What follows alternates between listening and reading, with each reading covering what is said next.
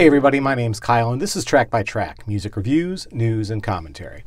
To be honest, I really thought we'd be done talking about Paul McCartney's recent pair of albums by now. After all, McCartney 3 came out back in December, and the companion covers and remix collection McCartney 3 Imagined dropped digitally back in April. The former was pretty great, while the latter was pretty eh, for whatever reason, the physical release of 3 Imagined was scheduled three months after the digital version. I thought that was a pretty risky choice, since by this time, anyone who might have wanted to hear the music would have had ample opportunities to stream it, and perhaps no longer be interested in owning a physical copy. For McCartney's sake, I hope that's not the case, because McCartney 3 Imagined was seemingly everywhere I went over the weekend. Granted, that was a handful of record stores and bookstores, but pretty much every one of them had this album on display front and center. But of course, there are probably millions of fans like me that are likely to buy pretty much any Paul McCartney release, regardless, in order to keep their collections complete. And in this case, Paul sweetened the pot by holding back one bonus track that would only be available on the vinyl or CD editions.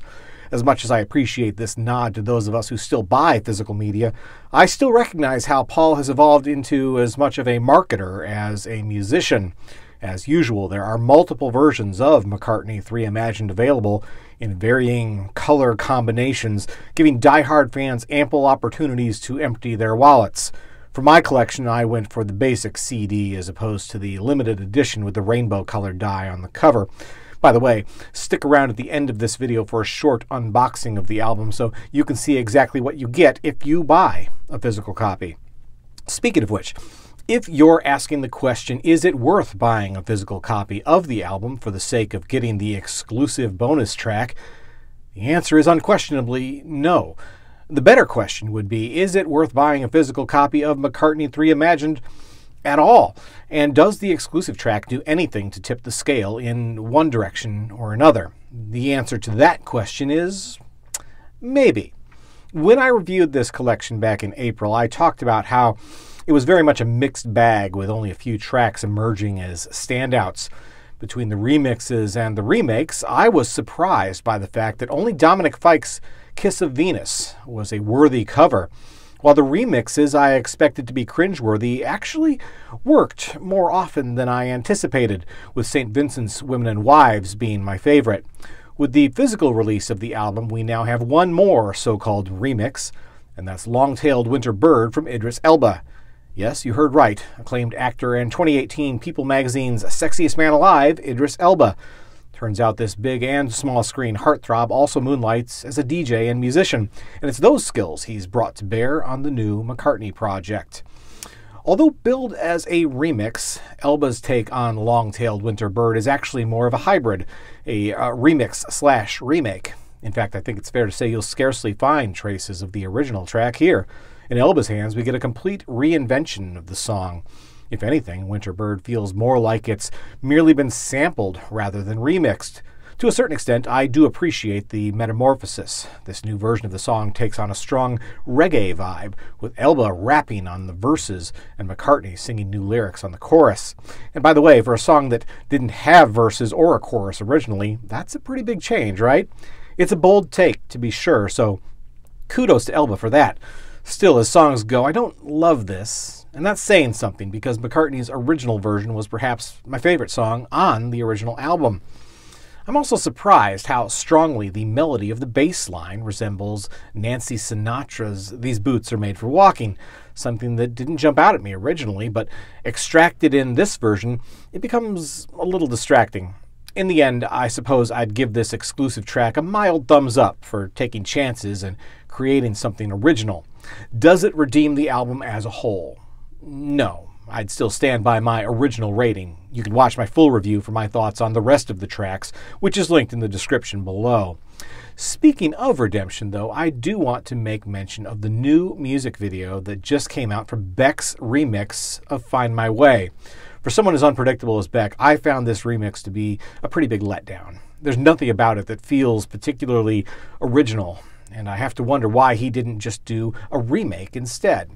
But then there's the brand new music video in which deepfake technology is used to transform Beck into a young mop topped McCartney, singing, dancing, and strutting his way through a psychedelic tesseract in one of the trippiest clips I've seen in a long time. Some have called it creepy, and while I don't disagree, I have to say that isn't that par for the course when it comes to deepfakes? I couldn't take my eyes off the thing, and to a very real extent, uh, no pun intended, the video actually elevates what I originally found to be an otherwise mundane remix. Definitely check that out. But right now, let's check out an unboxing of McCartney 3 Imagined by Paul McCartney and friends. All right, so here we have the standard CD version of McCartney 3 Imagined.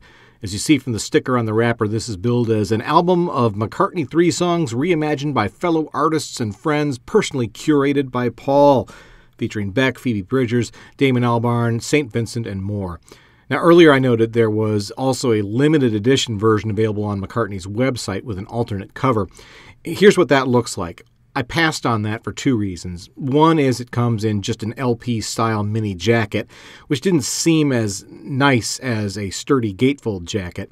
And the second is I thought the standard cover was more original. The limited edition features the same realistic style die as last year's McCartney 3 album, just with a rainbow swirl instead of the white or solid color.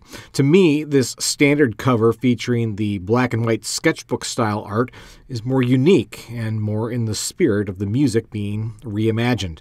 So here's the unwrapped front cover and the spine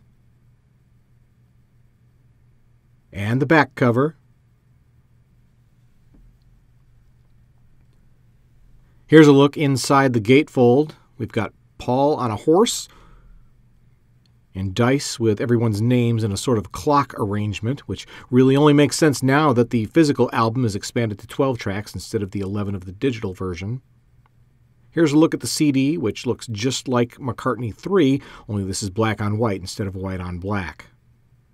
And finally, here's the mini double-sided poster style insert, which folds out to show these Polaroid style images to represent each of the artists that contributed to the album.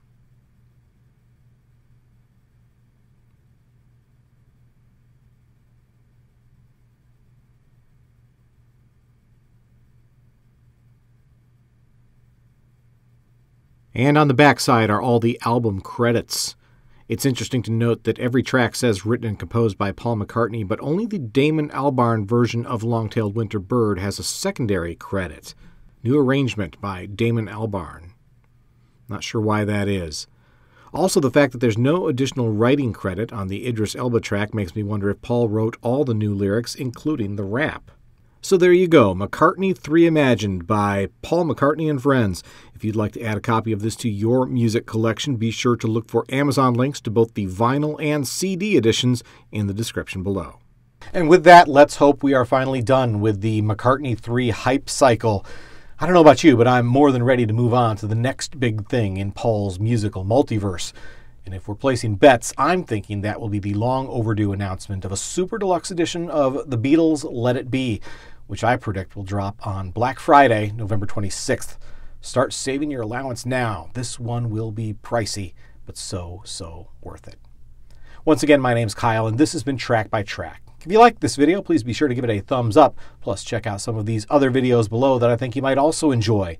And of course, be sure to subscribe, because true music fans always want new releases the day they come out. Thanks for watching, and I'll see you next time.